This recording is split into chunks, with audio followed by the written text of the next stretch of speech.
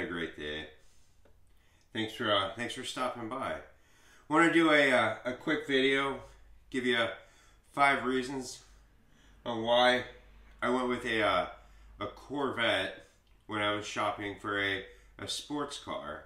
Uh, when I was doing uh, reviews and looking at you know the positives and negatives to uh, Corvettes, Mustangs, Camaros, Chargers, Challengers. That's kind of kind of the realm I was looking in, um, and, I, will give you five reasons why I went with a uh, a Corvette. Um, as I've mentioned in past videos, um, I bought my Corvette about, geez, it's December now, so about eight months ago. I've had it. I've had it since April, um, and it's been a blast to own. Started modifying it recently. Um, as you saw, I put those LED light bulbs inside of it, and uh, one of my last videos, it was, it's made a great difference inside this car.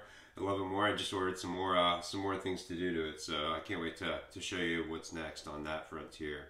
Uh, but let's get back to today's video. So the reason why when I was evaluating cars, why I found a Corvette to be, um, well, let's just say it straight up, it's always a V8. Um, Corvettes, you, you, you, pull up to a Mustang at a stoplight or a Camaro or a Charger or Challenger, it, it could be a V6. It's probably 75% of the time it's a V6. Well, you roll up next to a Corvette, well, it, it's always a V8.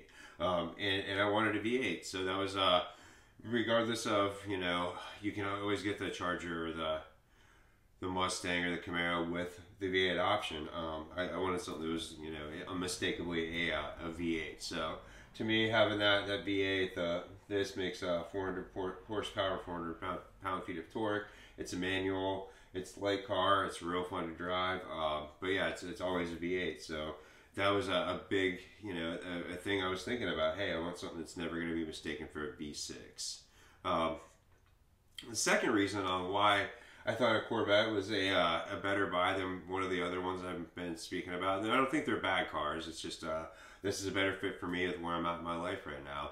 Um, the Corvette community. Uh, I, I, really enjoy being uh, being part of that community driving down the road, you get the Corvette wave. Other Corvette owners and enthusiasts always talk to you. Um, it's it's it's just a cool uh, it's a cool experience if you've never been part of it. I'm sure that owning a, uh, a Mustang would be a, you know a great experience or a Camaro or a, or even a Charger or Challenger as well. But uh, but for me, the, the Corvette community, um, it's it's fun. It's you know it's like-minded enthusiasts, and we all we all kind of sit around uh, at car shows. You can chit chat. It's nice to see what they have done to their cars, and uh, maybe gives you ideas for modifications, things like that. And everybody will talk to you about it most of the time. Um, it's it's uh, it's fun. It's enjoyable. It's it's great to be part of. So that's uh, one of the other reasons why I thought that Corvette was uh, a great uh, great buy. Um, the other another reason. Okay, so Corvette, it's a two seater. You might say, hey, that's a that's a stupid reason to uh, to buy a car. It's a two seater instead of uh, having a car you put four seats in, it, like a, a, Camaro or a Mustang or a Charger or Challenger.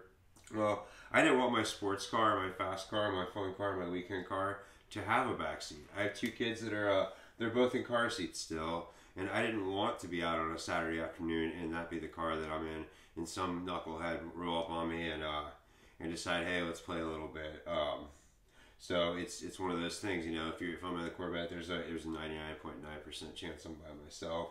Um, maybe there's a one percent chance that uh, my lady will be with me, but but yeah, it's uh I, I don't the two seats to me it made sense. Um, rather than having the ability to do something silly with uh with the kids in back, no, I'm not thinking thinking my uh, myself through at that point.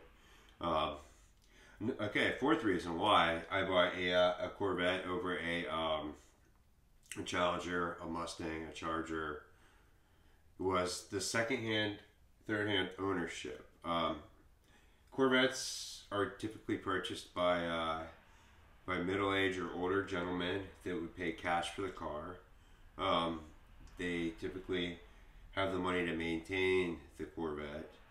They have other vehicles to drive as well, so it's not their daily. So they park it in their garage they baby it, they don't beat on it too much. Um, I, I, don't necessarily know if that's 100% an accurate statement when you're looking into uh, the crowds of uh, of Mustangs or uh, Chargers or um, Hellcats or Camaros or any of that. I, I, would be probably pretty pretty challenged to find a V8 um, mo- non-modified um, um, you know Charger or Mustang for that matter. Um, versus, you know, you can pick up a a Corvette that's been loved, it's been maintained. Its uh, its owner really really enjoyed it and took good care of it, and uh, and didn't really pound on it too hard most of the time. Drove it on Sundays and, and was part of that Corvette community that I like to meet up with and uh, and have coffee with from time to time.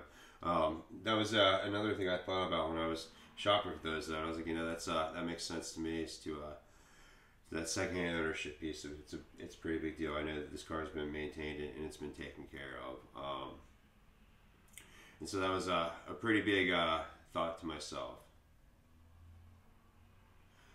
The last reason why I went with a, uh, well, one of the last reasons why, the next reason, I went with a, uh, a Corvette instead of uh, a Mustang or a Camaro or a Charger or Challenger was uh, I don't feel like this car is going to depreciate anymore. I pretty much feel like the mid 20s on a C6, I don't think they're going to go much lower than that. Um, it should hold its value pretty nicely. And uh, if I ever decide I want to get something different, I don't think I would. Uh, I would necessarily lose money on it, even if I put a little few more miles on it, because it is, as I mentioned, you know, being a, a Corvette owner and that secondhand ownership piece of it. I have another car. I don't drive it all the time. Um, but, but I think it's going to hold its value significantly better than what your uh, your Mustang would or your Charger would or your Camaro would. Um, maybe maybe I'm wrong, but uh, just being this is a, a manual still, and it's the V8 guaranteed and it's rear wheel drive. Um, it's, it's, three things you're probably not going to be able to get anymore in uh, in modern cars going forward. So it's uh, to me going to be something I plan on uh, hanging on to for a while for that reason alone. Um, and I have I, I, have one more final reason on why a a C6 Corvette for me was was the right purchase over uh, a different sports car, and that's the the aesthetics, the attention. I think out of the, the cars I've spoken about, the Mustang, the Camaro, the the Charger, and uh, the Challenger, I think it's the the best looking out of all of them. Every time I take this thing out, it gets it gets a lot of attention. It doesn't matter where I go. Um, it could be a, a seven year old kid says, "Hey, I like your car," and it could be a sixty year old lady that says, "Hey, take care take care of that baby."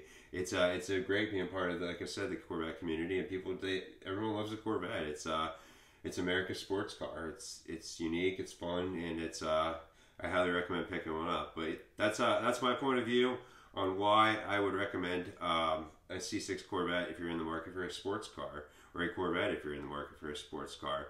I really appreciate you watching. Currently, I'm having a little contest with uh with my daughter. We're seeing who can get the most subscribers. So if you uh, would help me out, that greatly appreciate it by uh, by hitting a like and subscribe. Thanks so much for watching again. I hope you all have a great evening. Bye now.